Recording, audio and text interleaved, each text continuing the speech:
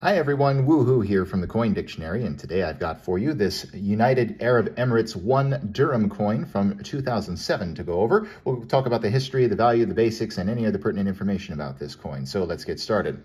On the obverse, we see uh, in Arabic script 1 dirham, the denomination in the center here. Uh, text on the outer rim uh, translates to the United Arab Emirates. Same inscription can be seen in English down below. If we turn this over to the other side, this is a dala, a traditional Arabic coffee pot above the dates. 2007 in the Gregorian calendar off to this side, and 1428 in the Islamic or Hijri calendar off to the right over here. Uh, this side was, these, this entire coin rather, was engraved by Geoffrey Colley.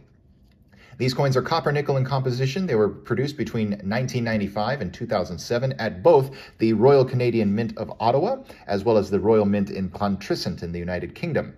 Uh, they were produced during the reigns of both Sheikh uh, Zayed bin Sultan Al Nahyan uh, until 2004, and thereafter under the reign of Sheikh Khalifa bin Zayed Al Nahyan uh, from November of 2004 onwards. Uh, now, 2007, well, we're not entirely sure how many of these were minted as there aren't any uh, mintage figures publicly available. What we do know, however, is that this coin has a face value of about 27 US cents as of time of recording.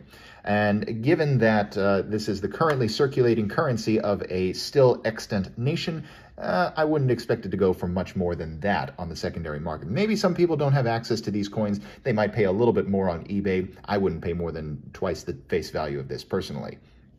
Anyway, I uh, hope that cleared up some information about this coin, and I'll see you next time when I've got another coin to talk about. I'll see you soon. Thanks for watching the video. My name's Christian and I own The Coin Dictionary and I'd also encourage you to visit us at our website, thecoindictionary.com and on Instagram at thecoindictionary.